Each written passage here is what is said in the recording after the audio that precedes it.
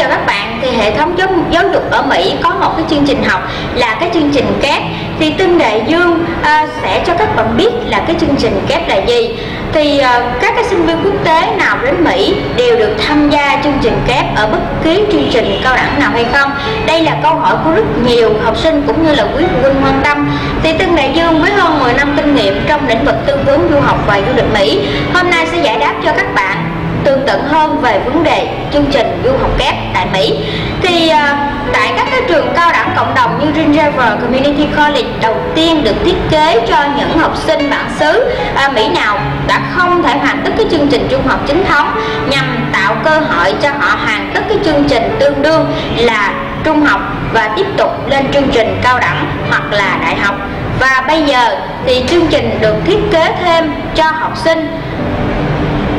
lớp 10 tại Việt Nam, chưa tốt nghiệp trung học phổ thông và đủ 16 tuổi, tham gia học tập tại một số trường cao đẳng cộng đồng chỉ có ở tại tiểu bang Washington, Mỹ. Thì đặc điểm của chương trình này đó là sinh viên tham gia chương trình kép sẽ được những sẽ được học những cái môn học được yêu cầu trong cái chương trình tốt nghiệp của bang đó. Thông thường sẽ là toán, tiếng Anh, văn chương, đọc và viết, môn khoa học xã hội. Sinh viên bắt đặt bắt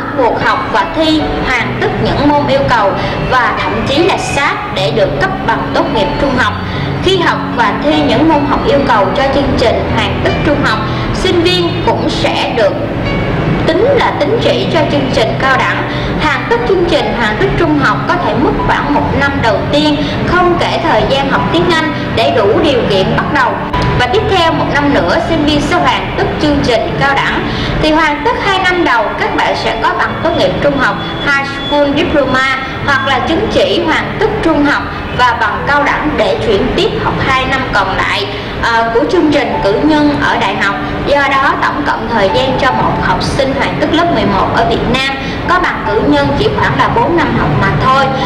sinh sẽ tiết kiệm được học phí và sinh hoạt phí là một năm ở Mỹ. Thì Tương Đại Dương thời gian làm việc là từ 8 giờ sáng cho tới 12 giờ trưa và từ 13 giờ 30 cho đến 17 giờ 30 mỗi ngày. Nếu mà các bạn có thắc mắc, có thể là đến trực tiếp văn phòng của công ty hoặc gọi điện thoại đến hotline 38 48 48 79 để được chuyên viên Mỹ hướng dẫn và chăm sóc tận tình về hồ sơ của bạn nhé.